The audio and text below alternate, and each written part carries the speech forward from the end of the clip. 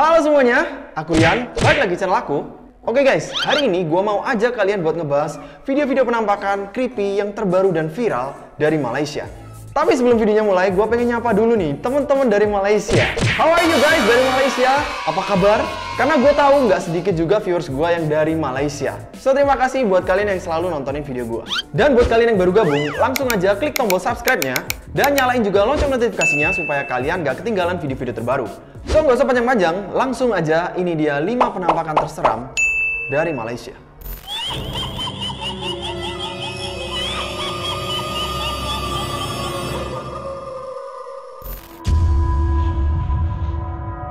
Pocong, Nah, video yang pengen gue bahas pertama kali hari ini adalah video yang lagi viral nih. Video ini berasal dari sebuah postingan pengguna Facebook bernama Sarifa Rafida Amir Hamzah. Dia memposting sebuah video pada 25 Juni 2020 kemarin. Di mana video itu merupakan video yang direkam oleh adik perempuannya yang bernama Radia Hamzah. Jadi dia bercerita kalau adiknya ini punya satu kebiasaan. Kalau pas dia lagi nyetir sambil dengerin musik, biasanya dia suka nge-record video pendek. Biasalah ya, buat materi update status WA. Dan setelah dia upload, dia balik ke rumah dan istirahat. Tiba-tiba, keesokan harinya, temennya ada yang ngechat. Temen Radia nanyain tentang video yang dia upload ke status WA-nya kemarin. Dia bilang, kenapa kau nampak hantu ke? Yang kurang lebih artinya, kamu kenapa abis ngeliat hantu? Abis itu, si Radia langsung ngecek lagi dong video yang dia upload kemarin. Dan Radia sangat terkejut ketika dia menyadari ada sesuatu yang terekam di videonya. Perhatikan video ini baik-baik.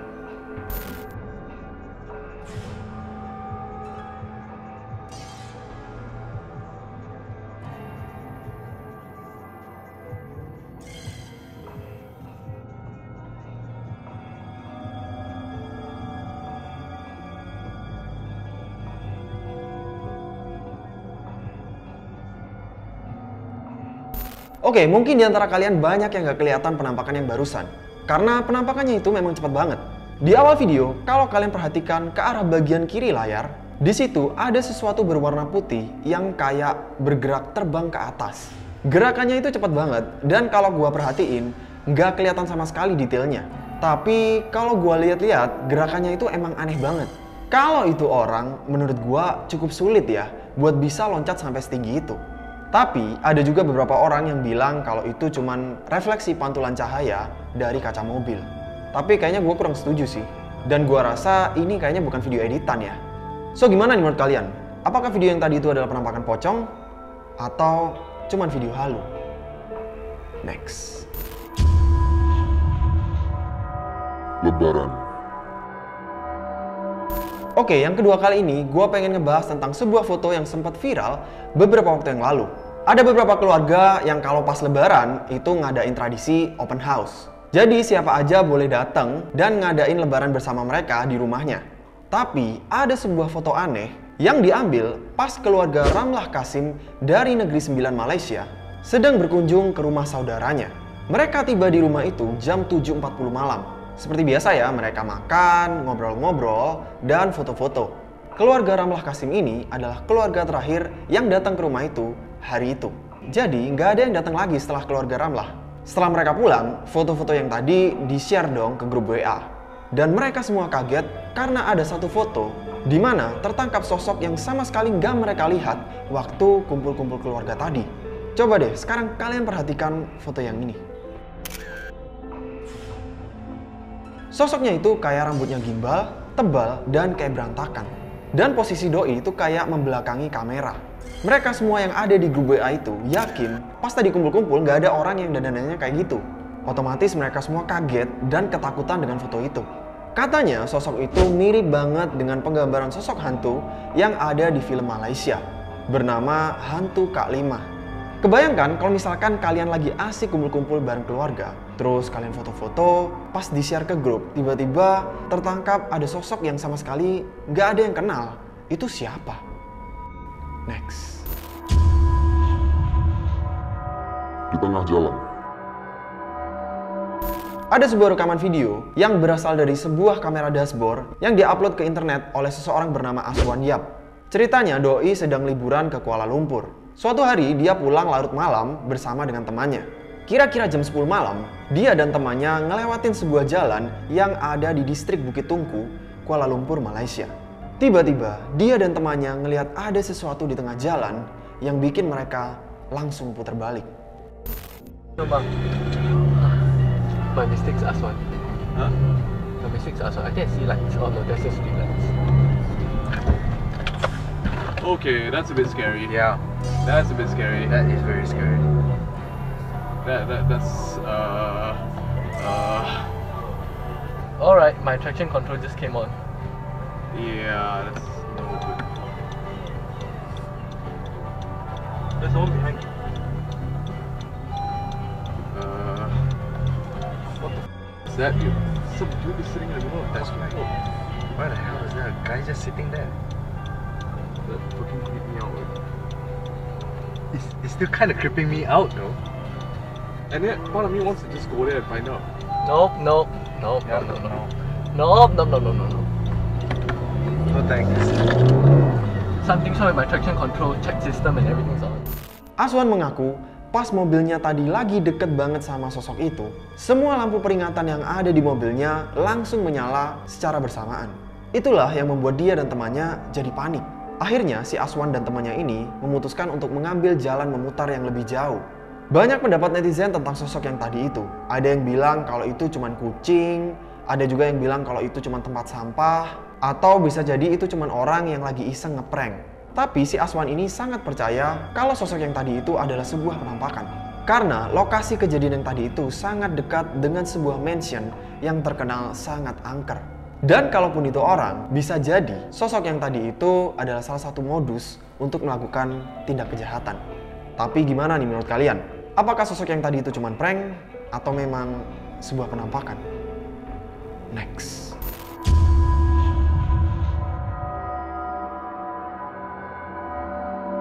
Ada sebuah foto yang di-share kredit oleh user bernama Ahmad Sumima. Dia bercerita, suatu hari, mantan pacarnya 6 tahun yang lalu, yang sekarang udah punya suami dan dua anak, sedang pergi liburan ke Melaka. Mereka booking kamar di sebuah hotel. Nggak lama setelah mereka nyampe di hotel itu, keluarganya nanyain ke grup WA, gimana, udah nyampe apa belum? Nah, karena mereka lagi asik rebahan di kasur sambil nonton TV, jadi si ibu ini fotoin TV-nya dan suasana kamar hotel itu. Abis itu dikirimlah ke grup WA keluarga yang tadi. Setelah check-in, anak mereka yang paling kecil usianya masih 3 tahunan tiba-tiba demam. Dan pas mereka baca lagi chat yang ada di grup tadi, tiba-tiba malah heboh. Mereka pada nanyain, itu siapa yang ada di pantulan cermin hotel?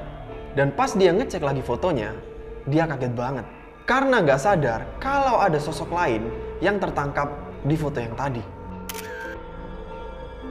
Wajahnya creepy banget ya guys. Mukanya itu kayak pucat banget, matanya itu kayak bercahaya, rambutnya berantakan, sama sekali nggak ada tanda-tanda kehidupan men. Kayak nggak ada ekspresinya gitu. Setelah sadar, mereka langsung ketakutan dan minta ke pihak hotel untuk pindah kamar. Beruntungnya pihak hotel itu kooperatif, ngasih kamar lain sebagai pengganti. Besoknya, mereka langsung check out dari hotel itu. Dan bersamaan dengan itu, anak bungsunya yang tadinya demam, tiba-tiba kembali sehat. Gua nggak tahu ya ini foto real atau fake. Tapi yang pasti, kalau gua lagi stay di hotel dan tiba-tiba muncul penampakan kayak gitu, fix, pasti langsung cabut sih. Next.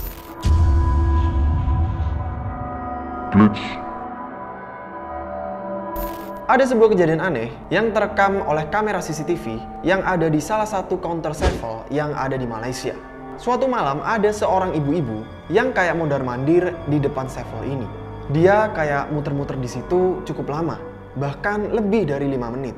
Tapi anehnya kalau gua amatin bagian kepalanya itu kayak nggak kelihatan. Padahal bagian pundak sampai kaki itu kelihatan jelas banget. Beberapa karyawan yang ada di sevel itu juga sempat ngeliatin ke arah ibu itu dengan ekspresi aneh.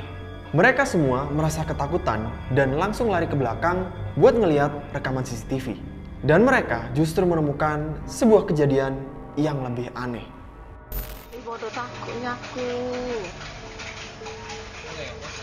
Ih,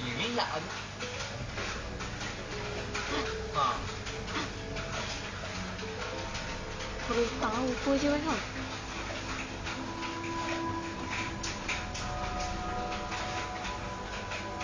Situ pilu kulit ibu pun kat mana? Aku heran.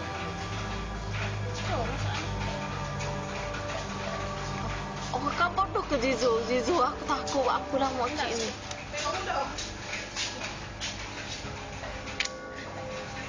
Masuk masuk masuk keluar ke tu? Oh, ya.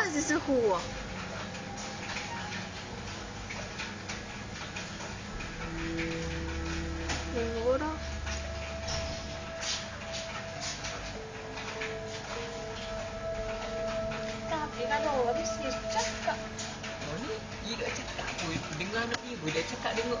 Dia tengok ah, sekadar senyum ke? Anak dia tengok gitu ke? Kan dia paling salah.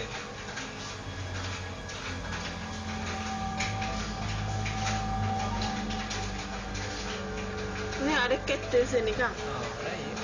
Ni tengok ni, ni, ni. Oh, ni kereta ada customer tu. Oh. Itu apa? Itu apa? Oh, salah. Ha, tu. Ah, ini dekat. Eh, masuk mana lagi tu? Dia nak masuk di situ. Mana lagi tu ni? Tak. Ada. Tak kan? Oh. Dah, mogok dia tengok lain tu. Tengok letak? Dia tengok. Mana?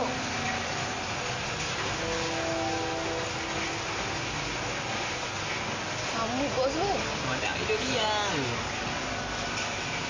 Kata tak air pusing dua kali, dah lah. Buk. Tak masalah kalau orang dah nak gitu kan. Sakit ah. Bos nak ngubur. Dia baru sebatang. Dia cepat yang ada. Tak Ari- macam mak mak sisau. Gigi masa tu tumbuh sebatang. Bakok terus eh. Oh tak eh? Kat sini Kata dia hilang